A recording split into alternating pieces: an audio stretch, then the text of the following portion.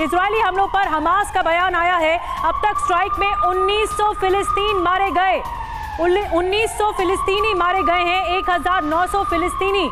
ये आंकड़ा मौत का बढ़ता जा रहा है, लेकिन ये बात हमास ने दावा करके कही है कि जो इसराइल एयर स्ट्राइक कर रहा है, उसमें 1900 फिलिस्तीनी मारे गए हैं।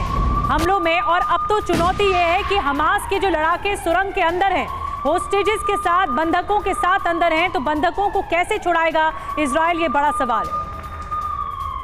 एक और बड़ी खबर, फिलिस्तीन के समर्थन पर एक्शन। जर्मनी, फ्रांस में प्रदर्शन पर बैन लगा दिया गया है।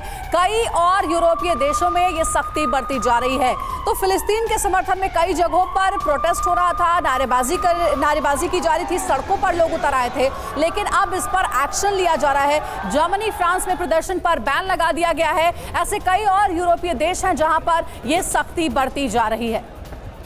तो आपको तस्वीरें लगातार दिखा रहे हैं किस तरह जर्मनी, फ्रांस में प्रदर्शन पर बैन लगाया गया।